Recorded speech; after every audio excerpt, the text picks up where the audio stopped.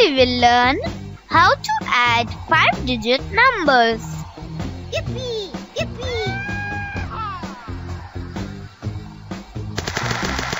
The two numbers are 12,485 and 24,562. We start adding from the left. 5 plus 2 is 7. 8 plus 6 is 14. 4 plus 5 plus 1 is 10. 2 plus 4 plus 1 is 7. 1 plus 2 is 3. The sum of two numbers is 37,047. 28,863 and 59,831. We start adding from the left. 3 plus 1 is 4. 6 plus 3 is 9.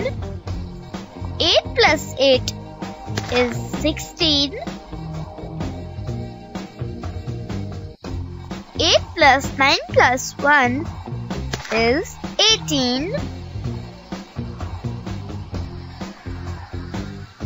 2 plus 5 plus 1 is 8. The sum of two numbers is 88,694.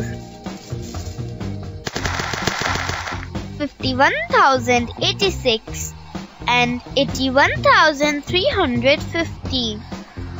We start adding from the left.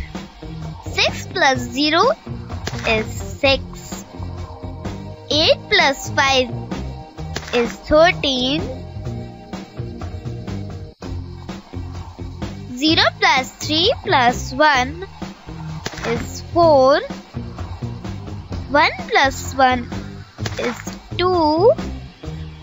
5 plus 8 is 13. The sum of two numbers is 1,32,436.